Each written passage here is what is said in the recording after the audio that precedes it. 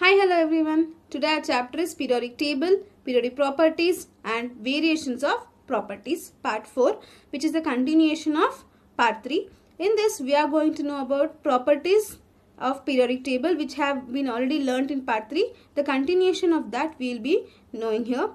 The next periodic property is ionization potential. Ionization potential is also known as ionization energy. Ionization energy is nothing but the energy required to remove the outermost electron of the outermost shell. The energy required to remove an electron from a neutral isolated gaseous atom and convert it into a positively charged gaseous ion, it is known as ionization energy.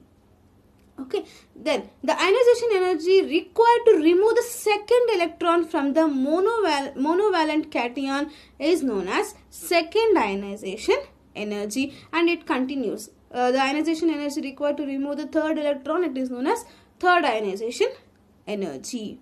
Now, the ionization energy depends upon two things. What are those? The atomic radius and the nuclear charge. Now, coming to atomic radius, the greater the atomic size, the lesser the force of attraction from nucleus to the outermost shell. Why? Because since the electrons of the outermost shell lie further away far from the nucleus, thus they make their removal easier. The electrons can be removed easier and that is the ionization required is less. Okay. Then ionization energy required will be less if there is more atomic radius. As the size is bigger lesser force of nuclear pull so we can easily remove the nucleus from the outermost shell. Okay next comes nuclear charge.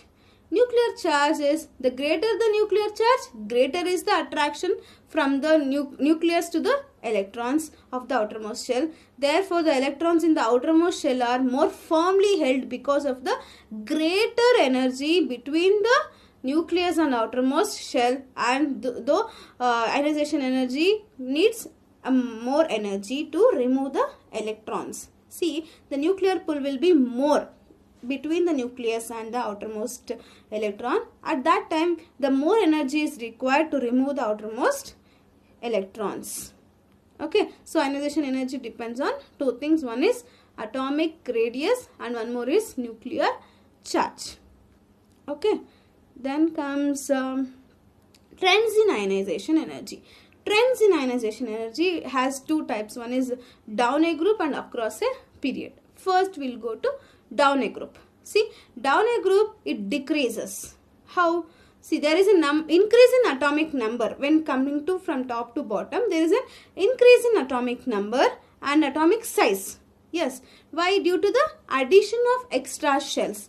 This increase in the atomic size overcomes the effect of an increase in the nuclear charge. See, as atomic radius increases, nuclear charge will be decreasing. Therefore, ionization energy decreases with an increase in atomic size.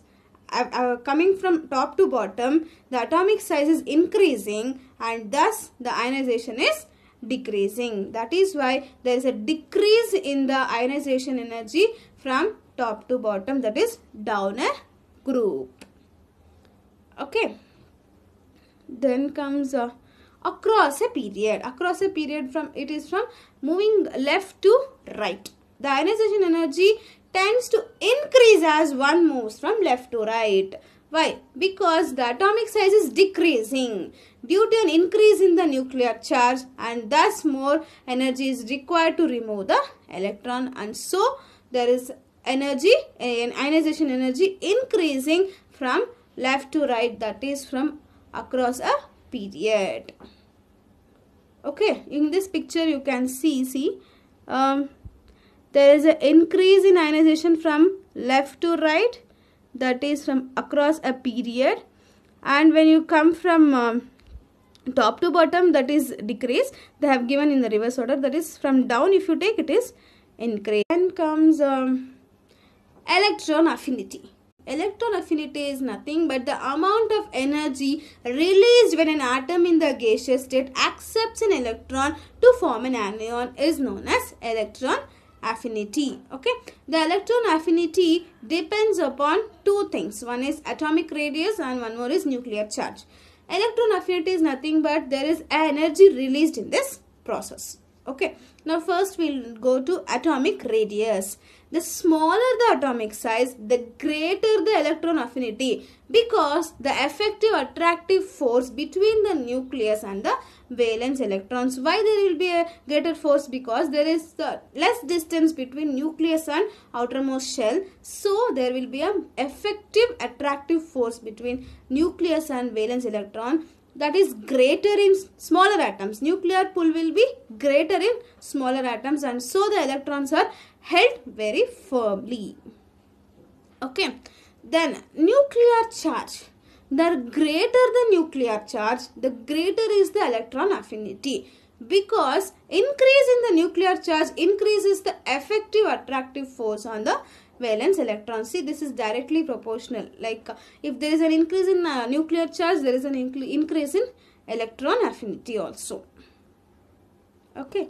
Then trends in electron affinity. In this first down a group that is from top to bottom of a periodic table the, there the atomic size is increasing. As I told, this is inversely proportional to electron affinity. When there is an increase in atomic size, there is a decrease in the electron affinity. See here, moving from top to the bottom of a group, the atomic size increases more than the nuclear charge, thereby causing a net decrease in the electron affinity.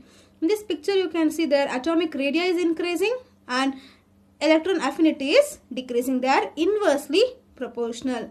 Then if uh, nuclear charge is increasing, then electron affinity is also increasing. So overall, when taking a down a group, totally electron affinity is decreasing. Okay. Next comes uh, across a period. Across a period is when moving from left to right in a periodic table in a period that is from left to right in a horizontal row of the periodic table, the atomic size is decreasing and therefore nuclear charge is increasing. So if nuclear charge is increasing, even electron affinity also increases. Why? Because they are directly proportional. Thus, electron affinity is the highest for the group 17 that is halogens and least for the group 1 that is alkali metals. In this pic you can see their atomic radii is decreasing so electron affinity increases and if nuclear charge increases even electron affinity increases. Therefore electron affinity increases across a period that is from left to right. Then comes um, electronegativity. What is electronegativity? This is the tendency of an atom to attract electron to itself when combined in a compound. See in compound we have many atoms or elements. In that they have a tendency to attract the electrons to itself when combined in a compound. This is known as electronegativity. This electronegativity depends upon two things. One is atomic size and one more is nuclear charge. Okay, first atomic radius. It is also known as atomic size. This, the greater the size of the atom, the lesser the electronegativity. Here also it is inversely proportional. If the atomic radius is increasing, electronegativity decreases or vice versa. Since the electrons being farther away from the nucleus, they experience a lesser force of attraction. There is a less force of attraction between a nucleus and the outermost electron. Okay, then comes nuclear charge. The greater the nuclear charge, the greater the electronegativity. This is directly proportional. If nuclear charge increases, electronegativity also increases. Why? Because there is an increase in nuclear charge causes electron attraction with a greater force. If there is a more nuclear charge, there is a greater force of attraction between a nucleus and the outermost shell. Trends in electronegativity. First, down a group that is from top to bottom, the electronegativity decreases down a group. See, there is an increase in atomic number down a group that is nuclear charge is also increasing but due to the addition of extra shells, the atomic size is increasing. Here, down a group, atomic size is increasing. As I told, atomic size is inversely proportional to electronegativity as here atomic radius is increasing thereby electronegativity is of course decreases. Okay. The effect of an increase in the atomic size overcomes the effect of an increase in the nuclear charge. Hence, electronegativity decreases down a group. In this picture, you can see atomic radii increases, electronegativity decreases. They are opposite. Then nuclear charge is increasing and electronegativity should increase. So, overall, down a group, electronegativity is decreasing. Okay. Next across a period that is from moving from left to right across the periodic table there is an increase in electronegativity. Why? Since the nuclear charge is increasing due to an increase in atomic number atomic number is increasing when we move from left to right so nuclear charge also increases. As nuclear charge is increasing electronegativity also increases from left to right that is from across a period okay in this picture you can see that atomic radius decreases electronegativity increases. They're opposite. Nuclear charge increases even electronegativity increases. So electronegativity increases across a period from left to right. Thank you.